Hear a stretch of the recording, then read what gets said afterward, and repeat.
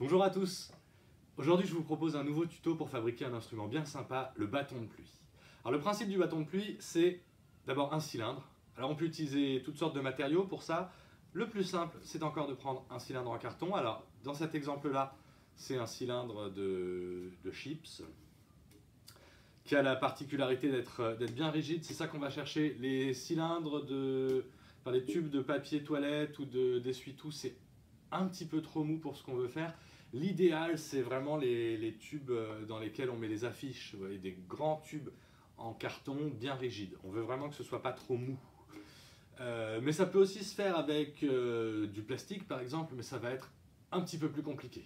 Donc vraiment, l'idéal, c'est ce genre de matériau, un carton un petit peu rigide.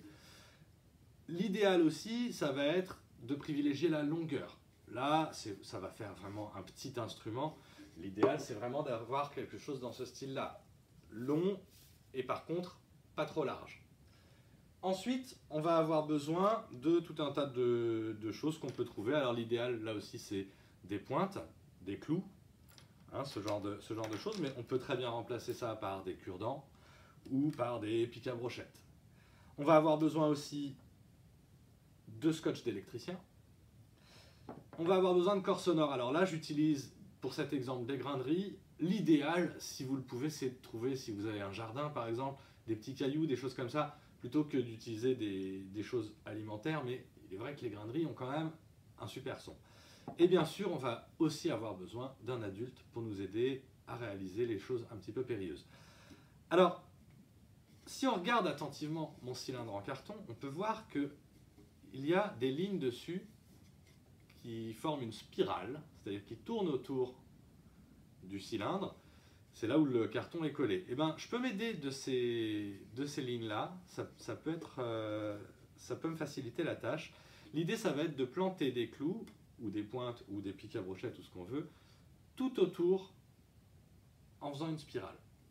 Donc là, je peux me faire aider évidemment par un adulte parce que ça peut être un petit peu dangereux. Alors pour la longueur de, ma pointe, l'idéal, c'est de prendre quelque chose qui soit plus petit que le diamètre de mon tube, mais qui soit le plus long possible. Je ne sais pas si c'est très clair ce que je raconte. Euh, ça, c'est un petit peu petit.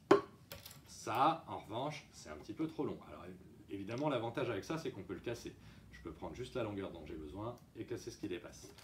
Donc je mets mes pointes, mes clous tout autour de l'édifice.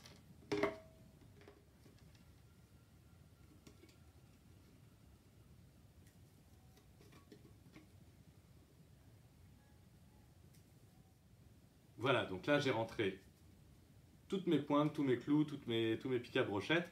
On doit voir à l'intérieur une spirale, ça fait comme un escalier en colimaçon. On peut sécuriser avec le scotch d'électricien pour pas qu'il y ait les, les têtes des clous qui dépassent. Donc le principe, c'est que nos corps sonores, c'est-à-dire là nos petits graineries, quand ils vont dégringoler dans le bâton de pluie, ils vont se cogner contre toutes les pointes et c'est ça qui produit le son. Donc là, on peut faire un essai avec celui-là, mais il est un petit peu large, donc ça va moins bien rendre.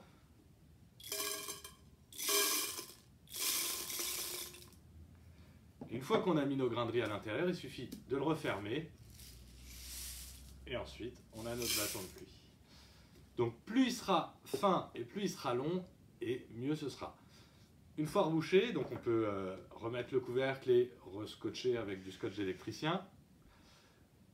On peut aussi le décorer, on peut le peindre, surtout si on a utilisé du carton comme moi. Et voilà le résultat final que mon assistant va vous faire euh, entendre tout de suite. Non, mon assistant il fait pas, ben, je vais le faire moi-même du coup.